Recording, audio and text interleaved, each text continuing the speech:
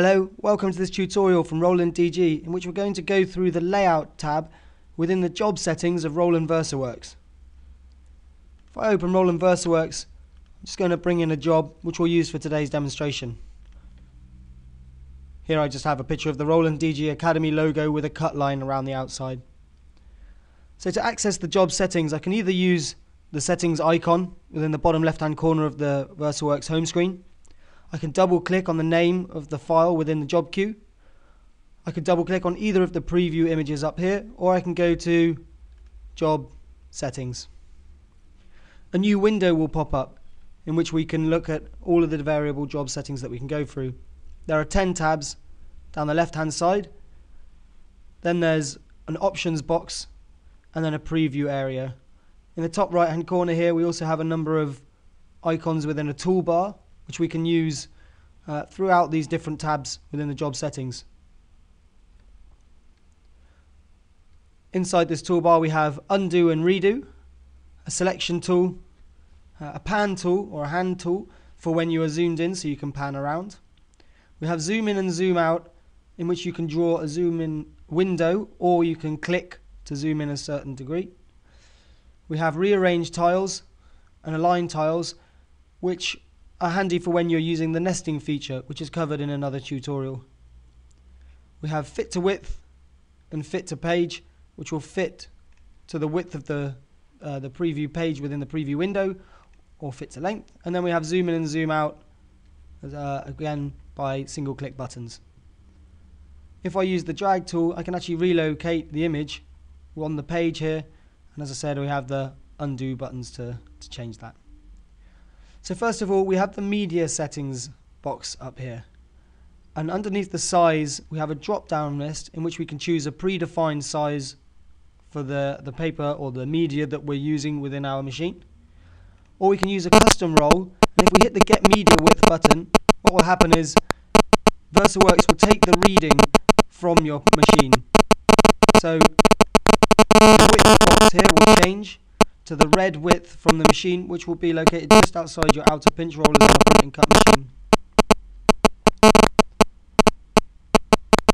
Now we know that the preview that we can see here is accurate to the size of the sheet that we're going to be working with. Now we have many options of how we can scale, position and change the properties of the image that we're using here.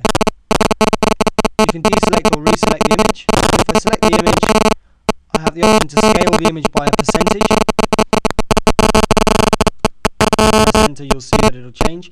You may have noticed there that the image rotated itself 90 degrees because at 200% it was wider than the width of the of the page that we're using.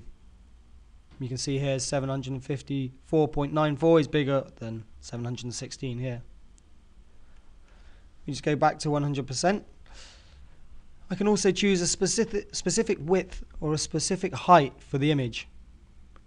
So if I uh, change this height, let's say 200 millimeters, it will keep the width proportional to the height. It will, it will not distort or skew the image within Roland VersaWorks.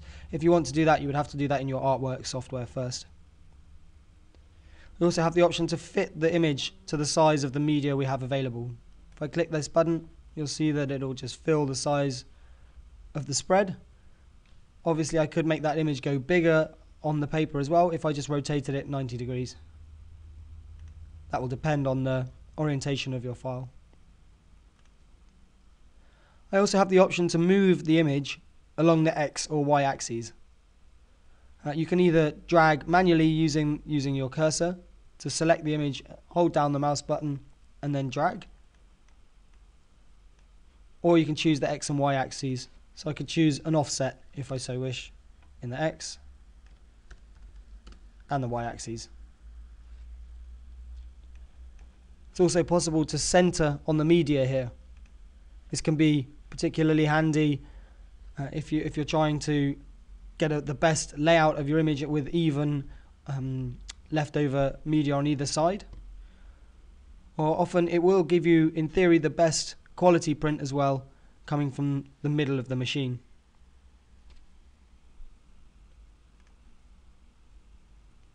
Under the print properties box here, we have the copy in which we can choose the amount that we wish to print of this image.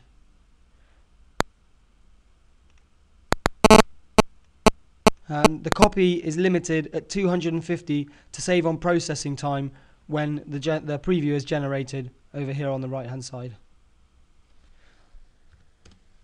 If we just go back to 2 here, you can see that it's stacked these on top of each other instead of side by side, as it will not fit two images side by side on my media width. If I just change the scale here to, let's go to 75%, and then rearrange the tiles, I should be able to fit two side by side. You can then obviously play with the width and the height or the scale in order to fit uh, with a better arrangement within your page. So I may wish to go a little bit larger to make the most of the space that I have available on my page. If I imported a PDF, for instance, with multiple pages, the page range box here would become active, and you can choose if you wish to print the whole range or whether you just wish to select a certain number of pages within that range. The tile spacing here is a default at 4 millimeters, and you can increase or decrease this as you wish. Sometimes it's nice to have a, a larger space between your your images if you're going to be trimming by hand afterwards. Or to reduce media wastage, you sometimes can go lower.